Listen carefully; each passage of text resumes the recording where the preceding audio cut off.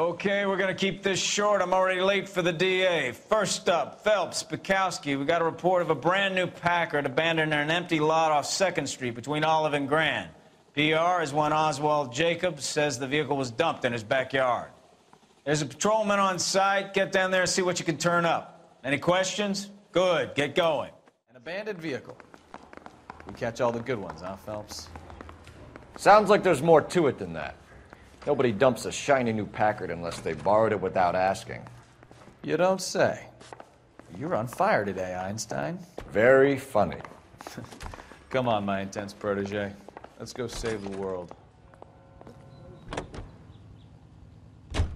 You hear about Adrian? Broad in Seattle threw him out. The wife says she's gonna take him back. Women generally show more compassion. What are you talking about? Adrian dumped on her. He was humping the secretary.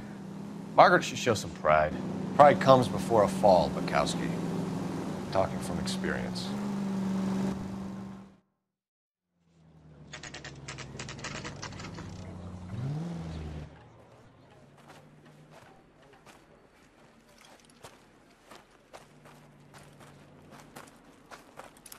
Phelps, traffic. I'm Officer Houlihan. Car's down the alleyway, detectives.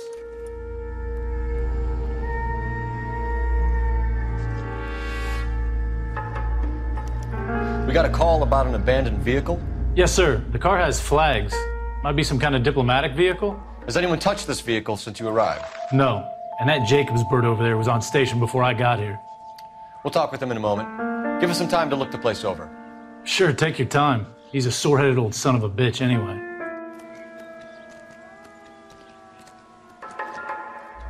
Lie detector's out of paper and ink. Top it up, will you? It's owned by the Argentinian embassy.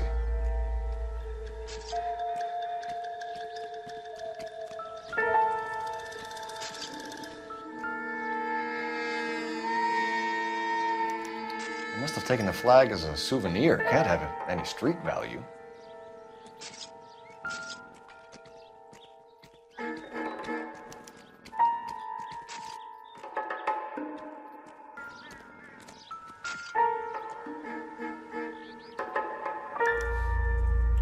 Stealing the wheels is for amateurs. Car ring would have stripped it in a warehouse.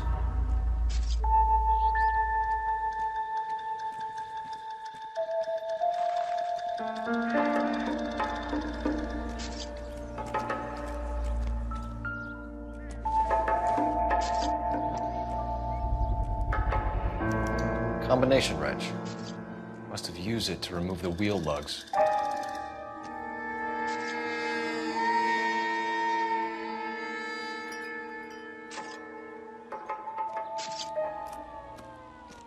Oswald Jacobs? That's right. What exactly happened here, Mr. Jacobs? Last night, I was looking out of my window. I like to keep an eye on what's going on. I can understand that. You see this empty lot? Damn kids play stickball here. Always breaking my windows, always asking for their ball back. Can we get back to the car, Mr. Jacobs? Don't be impatient, Sonny. Anyways, last night I see this brand spanking new Packard up on bricks. Did you see who stole the Packard? Hell yes, I did. I saw three goddamn Mexicans going to work on it. Can you tell us what they were doing? Using the headlights of an old Ford so they could strip the thing. I yelled out to them, I'll call the cops. So they loaded up their car and drove off, tooting and hollering and yelling obscenities at me in Mexican. You speak Spanish, sir? No, I do not. After the uh, Mexicans left, you didn't go anywhere near the car? After I scared them off? No, I didn't go anywhere near that car. You went out to the car. Once they were gone, you had to take a look for yourself. I was curious. Ain't no law against that. So what if I took a look around that car? You can't be accusing me of nothing. Tell me about the car they were driving. It was an old Ford. I didn't catch the license number. You look like the kind of guy who notices details. You're right there. The car was old, but it looked brand new. Candy apple red paint job stands out a mile. What exactly did you see them take? They was working on the tires. That's all that was took. Right. So what did you take, Jacobs? Do you want my partner to pat you down? I found a notebook in the glove compartment. I was going to show you. It's on the chair on my porch. Thank you for your help, Mr. Jacobs. You can speak to Officer Thibault about signing a formal statement. When you get the car out of the way, maybe you could come back and do something about those kids. Well, how about we bring you an umpire's mask?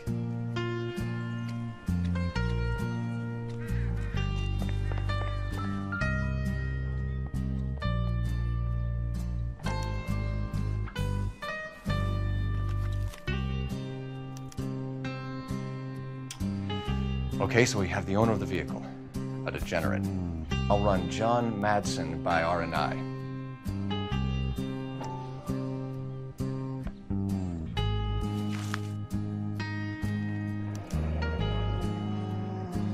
Contact details on a William Dewey. This looks like business rather than pleasure.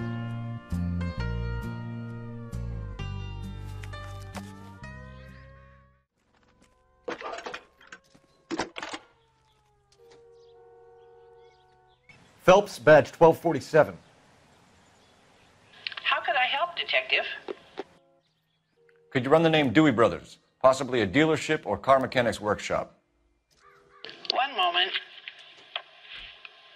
Dewey Brothers Packard Dealership, 629 Figueroa Street. Got it. Can you put me through to Michigan 2458, please? Connecting you now. Hello, can I help you? LAPD, ma'am. Can I speak to John Madsen, please? He's at school, officer. Uh, what's this about? Is he in trouble? How old is your boy, ma'am? Just turned 16. Wrong person, Mrs. Madsen. Sorry to disturb you. Messages, please. There's just one message for you, Detective. A four door Packard diplomatic license number Paul Robert 706 was reported missing this morning by Juan Francisco Valdez. Could you have him brought in? He's already here at Central, Detective. He's demanding an audience, as he calls it. Thanks. Can you get a message to Captain Leary? Tell him we'll be in as soon as we can. Thanks, ma'am. Can you cordon off this lot until we have the vehicle impounded? Yes, sir, Detective. This has got to be the 50th abandoned vehicle call we have caught this year. One more, and I'm going to go crazy. Not your favorite cases? You kidding me? This is barely even police work. Of all the bad guys in this city, we get lumped with the ones who can't even be bothered to keep what they steal.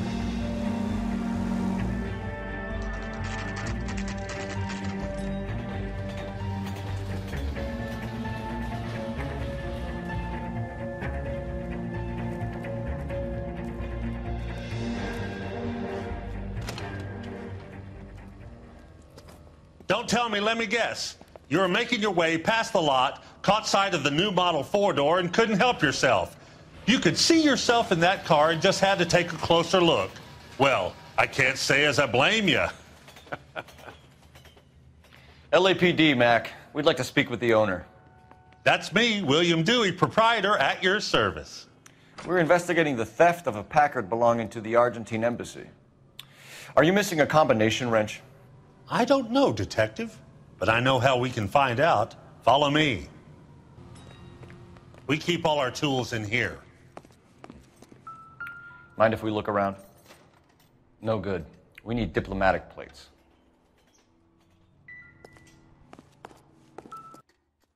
Gabriel Delgado is missing a three quarter. If you don't mind, we have a few questions. Packards are great cars, but this doesn't look like the kind of place favored by foreign embassies. How do you know Valdez? I don't know Valdez. The embassy bought the car. All I know is he must know a quality car when he sees one. And I know a shyster when I see one. You and Valdez are in this together. Me and Valdez? I hardly know him. Valdez wouldn't wipe his shoes with me. We found your contact details in Valdez's notebook. He had to be calling you for something, Dewey. Okay. So I met Valdez in a bar. We cut a deal he bought the car through the embassy. I cut him some change on the side. It happens all the time. Where can we find Delgado? I don't know. Sure as hell isn't here. Address, Dewey, or my partner shoves your head in a car door. Okay, all right. Apartment 3, 103 Hill Street. And tell him from me, if he ever shows his face around here again, I'm gonna kick his butt from here to Kingdom Come. A wrench from this dealership was used to strip the wheels from a Packard last night, Mr. Dewey. A couple of Hispanics were seen taking parts. We've had a spate of thefts ourselves. Comes with the location. Thieving bastards to steal anything the minute your back is turned.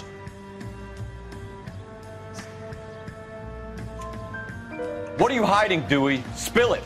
You don't want the LAPD getting too interested in this place. So I hire a few illegals. It's cheaper than hiring returning GIs, and they have less attitude. Downside is, they're a little light fingered. Thank you for your help, Mr. Dewey. No problem. God damn that kid. I'm just an honest car salesman. Seems like you just don't know who you can trust these days. Going to movies, Dewey. You're missing your calling. Time to visit Gabriel Delgado. See how good his excuse. is. You read this story in the Examiner about the Navy developing three-dimensional movies? What's a dimension? You know, like a graph. Vertical axis is Y and horizontal is X. Well, that's clear as mud. Third dimension would be Z. So things would be popping out of the screen. That's ridiculous. Scare people out of the theater. God's name would want that. I don't know. People scoffed at the idea of talkies in color. Look what we have now.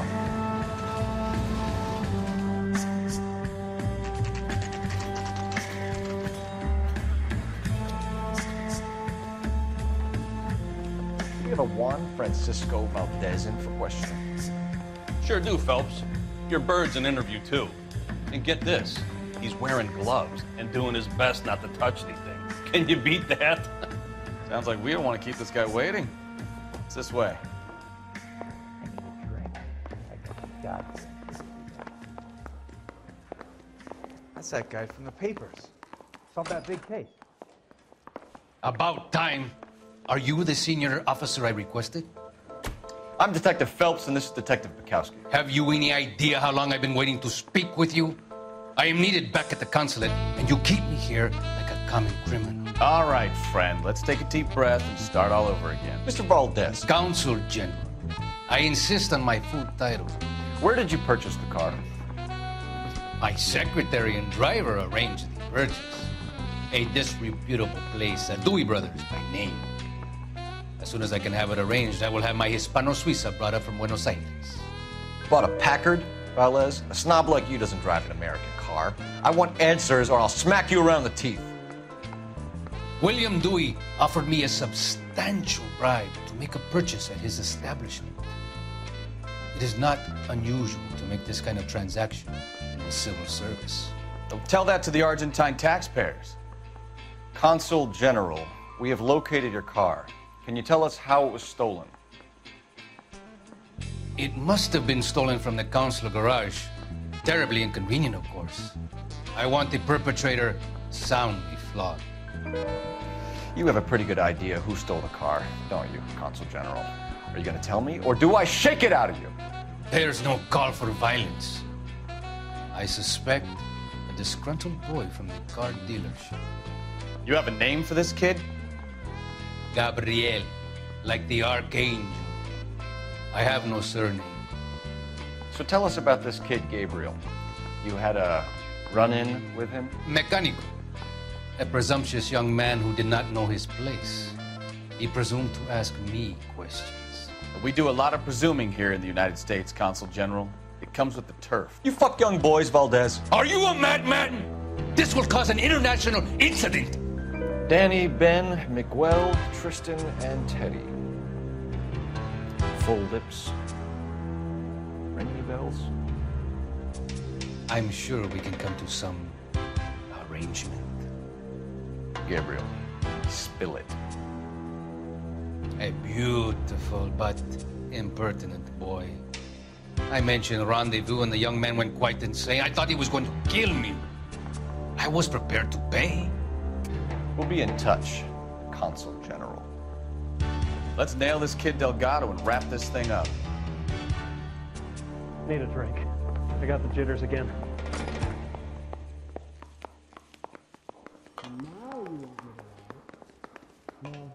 Finished with Valdez. Thank God. I'll get rid of him in a couple of hours.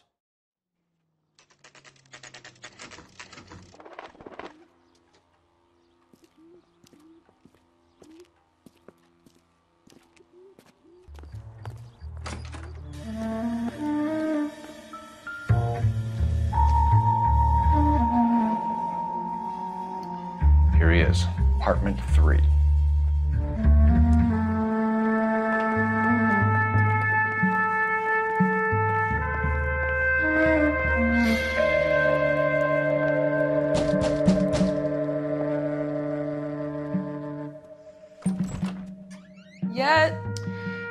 LAPD, ma'am. We're looking for Gabriel Delgado. Gabriel? We're from the police. Policia, you understand? Yes, I understand. Could you come inside? What is your name? Ana Rodriguez. Is Gabriel Delgado here, Ms. Rodriguez? No. What do you want with Gabriel?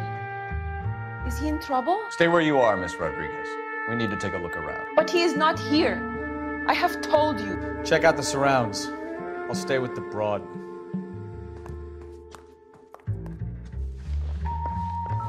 So, how far along are you, Anna? Nearly 20 weeks. Souvenirs are a dumb move. Right. So, how's it going to be when you go into labor and he's not around? You are wrong about Gabriel. He will be a good father. Already he works hard to provide for us. Unless you help us here, Anna, your little one won't be seen. Paco Difficult to tell a whether very it's the suspect time. vehicle from the scene. Certainly Gabriel's pride and joy.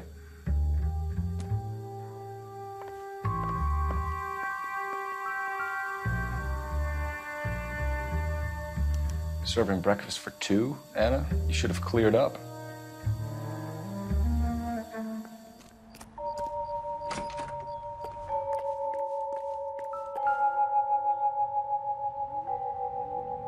Looks like Valdez gets his wheel back.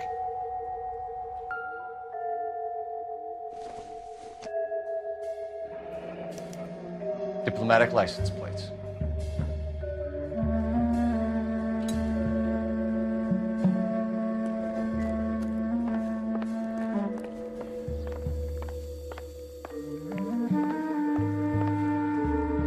You're in serious trouble, Miss Rodriguez. But Gabriel is not here. I have done nothing wrong. Why did he steal the car, Anna? The customer insulted him. He has his honor, no? His honor, Anna? He said Dewey's friend tried to make a woman out of him. He no longer respects this man, Dewey. He took the car to show this maricon that he is a man. Tell us the truth, Anna. Has Gabriel been here? For at least three nights. You keep lying to me, and I'll send you and your baby to jail. He lives here, but he hasn't come home. I swear it. Enough, Anna. There are signs all over this place that he's been back. He was here last night. I have never seen him so angry. He went out to his shed and put some things in it. I don't know what, and I don't want to know. I love him. We found a license plate matching our stolen vehicle in the shed. Add in the assortment of parts, and we can make Gabriel for a dozen other thefts. It's time to get serious, Anna. You must ask these questions of Gabriel. I know nothing of these car parts. Then tell us where he is. If your baby is born in prison, Anna, the corrections officers will take it from you. You will see your son or daughter through a metal grate for half an hour a week. The start line is on First and Santa Fe. There is a spillway under the bridge that leads to the river. Many policia have wrecked trying to follow him. We will put in a good word for you, Anna. As far as we're concerned, this sits with Gabriel. Start line. That sounds like a street race to me. It's gotten out of hand this last year. No wonder Delgado has such an eye for fine automobiles. We know where the kid is. Let's go stop these clowns and get him off the streets. What kind of man leaves his pregnant girlfriend at home while he goes off to play cars? Pregnant girlfriends aren't always a barrel of laughs. Everyone needs to let off a little steam. Some guys wouldn't come back home at all. Are you talking from experience?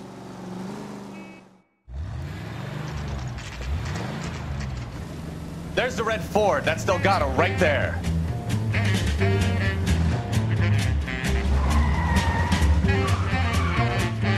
Quick! They're getting away! Phelps, 1247. Requesting assistance at First and Santa Fe. Reports of an illegal street race. Stay on Delgado. I'm gonna find Getting away! Quick as we shut one of these races down, another one springs up somewhere else. Kids used to steal cars to sell them. Now they just want to wrap them around a lamppost. The next 16-year-old I have to peel off the sidewalk, you're calling the mother. I've had enough of those to last me a lifetime.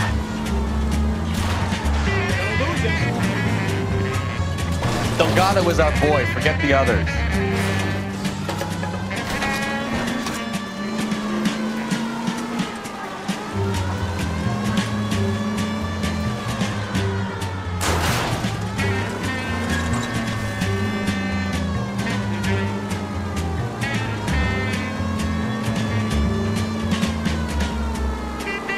Step on it, Phelps. Take him out. Good shit.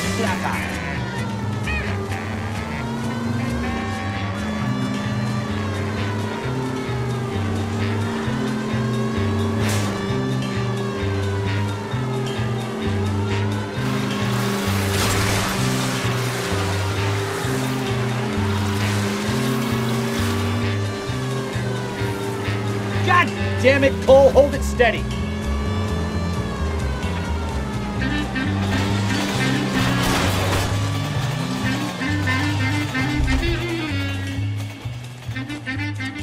Delgado, you're under arrest for grand theft auto.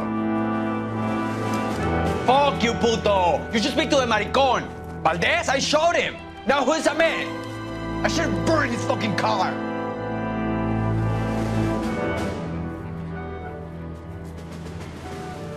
You got a foreign dignitary outed as a fruit and a kitty raper, car dealer we're gonna let slide for the kickbacks, and a street punk car thief who sure as hell won't be taking liberties with other people's autos again anytime soon. That, Detective Phelps, is not a bad haul.